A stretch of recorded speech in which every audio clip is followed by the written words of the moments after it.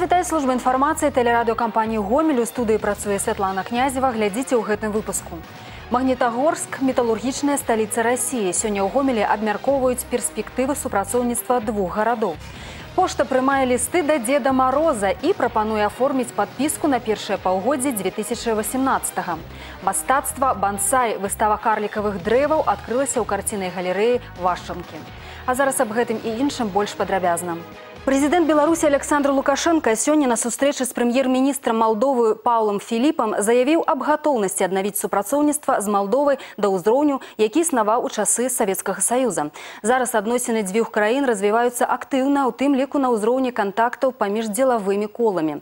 Договорная база ўключае амаль 70 документаў. По выніках мінулага года товарооборот склаў больш як 227 мільёнаў долараў. Аснову беларускага экспарту складаюць нафтапрадукты, трактары, трактары, лесаматэрыялы, шкловалакно.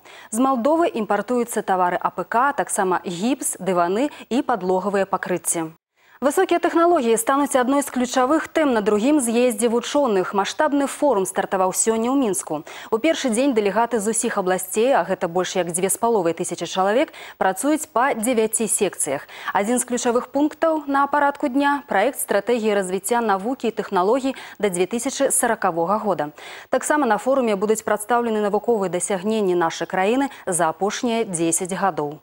Тым часам значнай падзеі ў навуковым жыцці нашага рэгіёна стане адкрыццё інстытута канфуцыі ў гомельскім дзяржаўным універсітэце імя францыска скарыны. Афіцыйная цырымонія запланавана на 20 снежня. Прыярытэтныя напрамкі культурна-адукацыйнага цэнтра, вывучэнне кітайскай мовы, акадэмічны абмен, распаўсюджванне культуры і традыцый паднябеснай. Нанкінскі універсітэт навукі і тэхналогіі, які выступіў ініцыятарамі партнёрам, супрацоўнічае з гомельскай ВНУ з 95 -го года. А сёння ў гомелі абмяркоўваюць перспектывы супрацоўніцтва з расійскім магнітагорскам. Кіраўніцтва гэтага горада з афіцыйным візітам наведвае наш рэгіён. У праграме сустрэча з гарадскімі ўладамі і азнаямленне з прадпрыемствамі гомеля. Падрабязнасці у Алега Сенцюрова. Выяўленне эфектыўных накірункаў супрацоўніцтва менавіта так сфармулявана асноўная мэта візіта ў гомель дэлегацыі магнітагорска.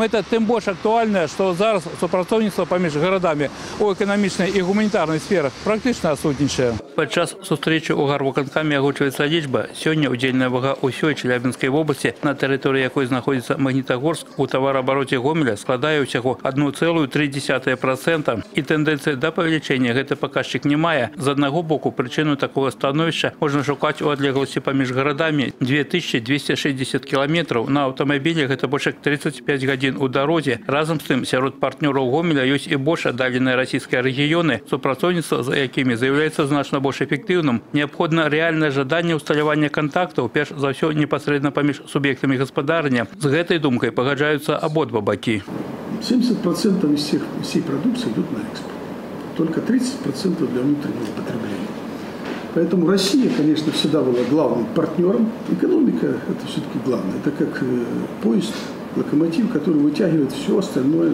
Будет это, будут все остальное приложится обязательно Хоць і супрацоўніцтва ў гуманітарнай сферы сёння вітаецца таксама. Урэшце у гомеля ёсць сур'ёзны навуковы сектар, які можа не толькі прапанаваць сучасныя распрацоўкі ў розных сферах, але і выконваць канкрэтныя заказы суб'екту гаспадарня магнітагорска. У горадзе развіваецца больш як 50 відаў спорту, што дазваляе казаць аб рэальнасці правядзення сумесных турніраў. Апрача таго расіян цікавіць гомельскі вопыт па добраўпарадкаванні гарадскіх тэрыторый. Увогуле сёння ў рассіі і Беларусі розныя мадэлі эканамічных адносінаў і кіравання гаспадарчымі комплексамі, але пры наяўнасці жадання супрацоўнічаць гэта не з'яўляецца перашкодай. Першым крокам стане распрацоўка рабочага плану ўстанаўлення кантактаў. Прычым ужо ў бліжэйшы час размова можа ісці аб узаемным укладанні інвестыцый. Праўда, тут неабходна ўсё дэталёва пролечить. В любом случае да, взаимоотношения могут быть только взаимовыгодными.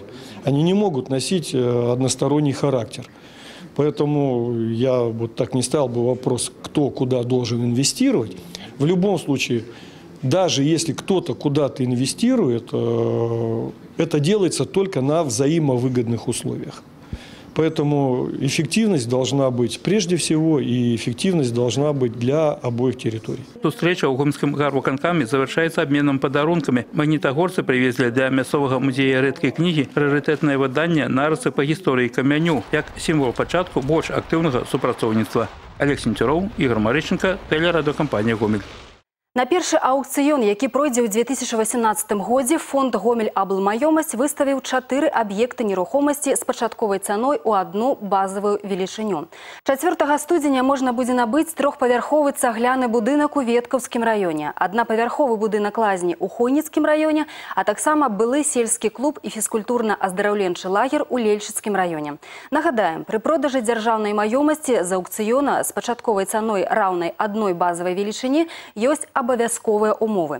А менавіта увод аб'екта ў эксплуатацыю, ажыццяўленне прадпрымальніцкай дзейнасці і стварэнне новых працоўных месцаў. А вось нерухомасць, размешчаная ў лельчыцкім раёне, можа выкарыстоўвацца пад жыллё і вядзенне ўласнай гаспадаркі пры ўмове рэканструкцыі. Тэму адкрыцця ўласнага бізнесу сёння абмяркуюць удзельнікі праекта добры вечар гомель на Беларусь-4. У прамым эфіры прагучаць рэальныя гісторыі і кампетэнтныя меркаванні. Ці стала прасцей адкрыць сваю справу ў рэгіёне? Чым можна займацца, не рэгіструючы ІП? Што такое кансалтынгавыя паслугі і сацыяльнае прадпрымальніцтва? Далучайцеся да размовы і вы. Нумар тэлефона ў гомелі 34 22 43. Да іншых тэм. У Петрыкаўскім раёне на пажары загінуў пенсіянер. Аб моцным задымленні аднаго з дамоў у вёсцы Ванюжышы позна ўвечары паведаміў сведка здарэння. Падчас тушэння пажару ў пакоі на падлозе выратавальнікі знайшлі цела 61гадовага гаспадара дома. Мужчына пражываў адзін. Прычына ўзгарання высвятляецца.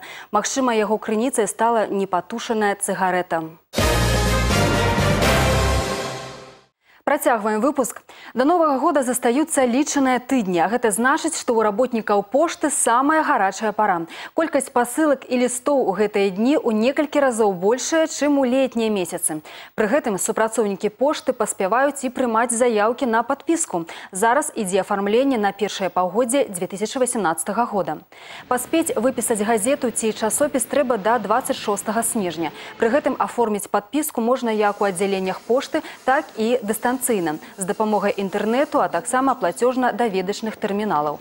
Дастаткова нават проста патэлефанаваць у аддзяленне і запрасіць паштальёна прыйсці на дом. Да таго ж зараз прымаюцца заяўкі ад бацькоў на лісты і падарункі для дзяцей ад дзеда Мароза. Аформіць заказ можна ў любым аддзяленні. Пошта дае магчымасць зрабіць навагодні падарунак і тым дзецям, у якіх няма бацькоў. Можно оформить подписку для деток из детских домов, причем вы сами выберете, э, в какой конкретно детский дом и какое издание будет выходить.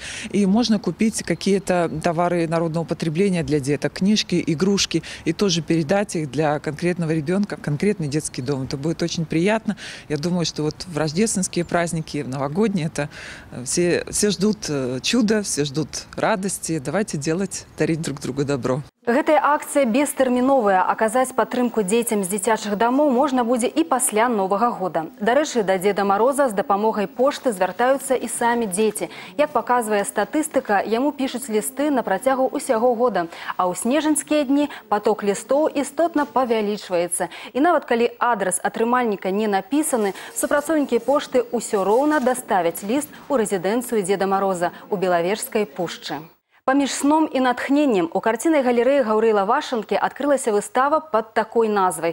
Тут прадстаўлены расліны ў тэхніцы бансай. Гэта унікальнае японскае мастацтва вырошчвання дакладнай копіі дрэў у мініяцюры. У экспазіцыі каля 30 жывых кампазіцый з прыватнай калекцыі гамяльчаніна Дмітрыя Віхарава. Вырошваннем карлікавых дрэў ён займаецца 15 гадоў. У яго калекцыі кітайскі клён, адамаў яблык, вяз, хвоя, ліпа і многія іншыя расліны. Найстарэйшым дрэвам больш як 10 гадоў.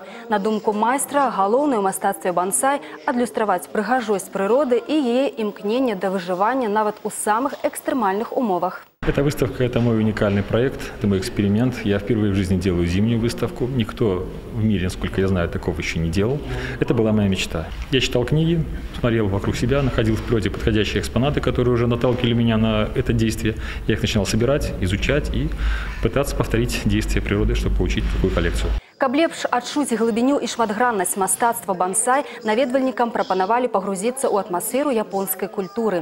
На адкрыцці экспазіцыі прысутныя змаглі пазнаёміцца з нацыянальнымі танцамі і кухняй краіны ў зыходзячага сонца. Да таго ж асобныя ўладальнікі білетаў на выставу атрымалі падарункі ад карцінай галерэі. Гэта іншыя навіны вы можаце знайсці на нашым сайце ў інтэрнэце па адрасе трайной w.tvrгомель.бай. Далей у эфіры спартыўны агляд з навінамі спорту вас пазнаёміць Максім Савін.